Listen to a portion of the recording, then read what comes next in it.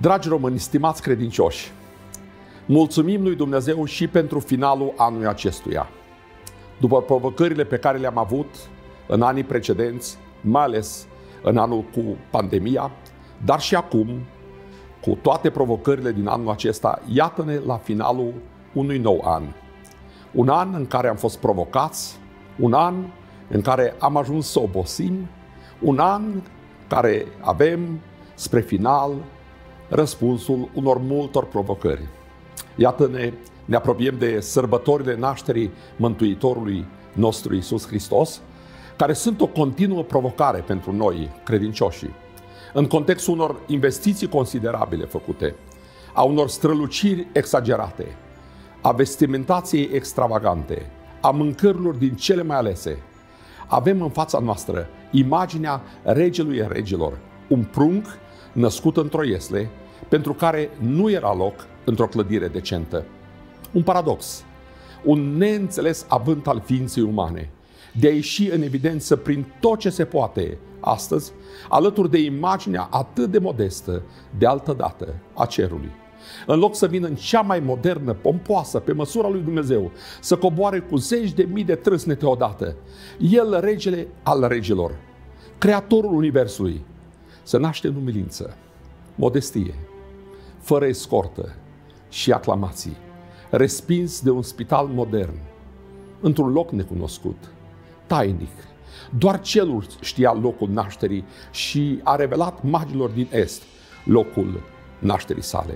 Și asta pentru că așa a ales Hristos, nu după posibilități, ci după caracterul fantastic și minunat de frumos a singurului, veșnicului și adevăratului Dumnezeu.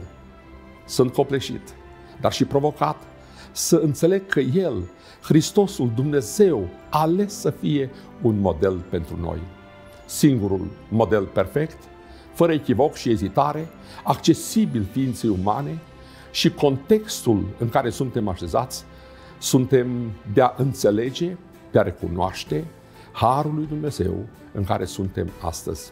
Din dorința de a dărui altora, lucrul acesta este așezat în inimile noastre. Avem un context în care este așezat versetul din 2 Corinteni, capitolul 8, unde cuvântul lui Dumnezeu ne aduce aminte căci cunoașteți harul Domnului nostru Isus Hristos. El, măcar că era bogat, s-a făcut sărac pentru voi, pentru ca prin sărăcia lui voi să vă îmbogățiți. Ce provocare!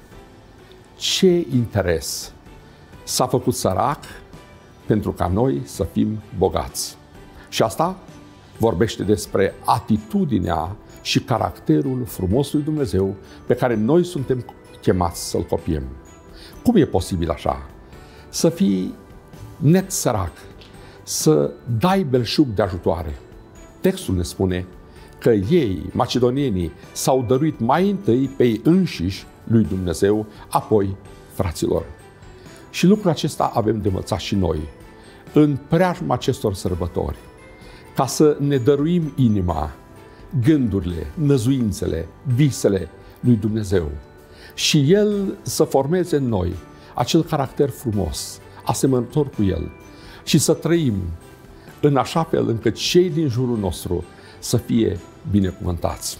Noi suntem chemați să fim darnici acum, suntem chemați ca să fim de folos celor din jur, să mulțumim lui Dumnezeu pentru ceea ce ne-a dat, dar mai întâi să-i dorim inima și viața Dumnezeului nostru. Vă doresc sărbători binecuvântate, vă doresc sănătate, mult har și din partea Bisericii Creștine Evanghelie. Vă dorim harul și binecuvântarea lui Dumnezeu. Să ne ajute pe toți la aceasta Dumnezeu. Mulțumesc!